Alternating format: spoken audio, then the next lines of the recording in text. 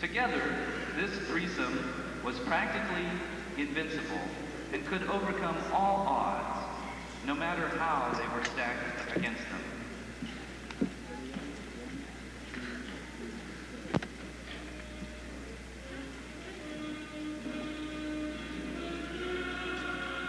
Janelle Boisvert, Dale Thompson, and Bob Schwartz.